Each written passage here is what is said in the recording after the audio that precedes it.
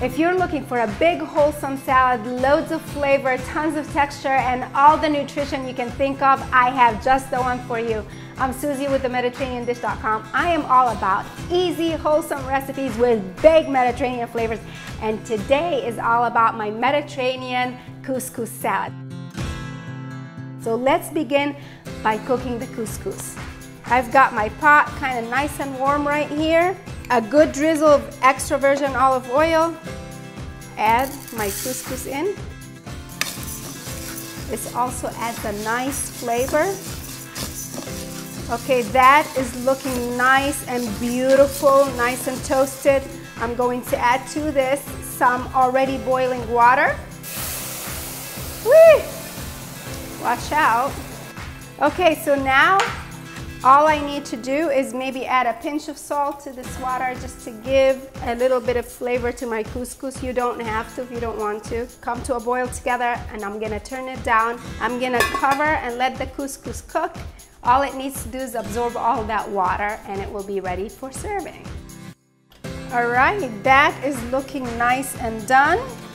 Turn it off. I'm gonna drain the couscous and we'll set it aside while we work on the rest of the salad.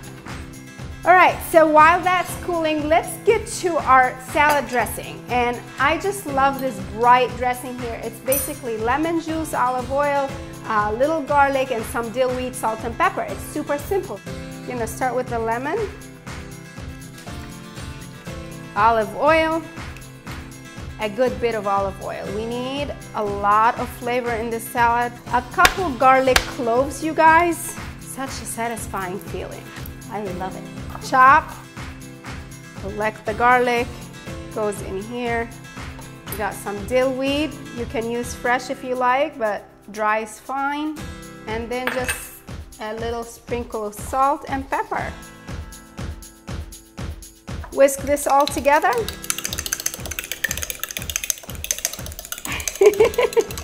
so fun.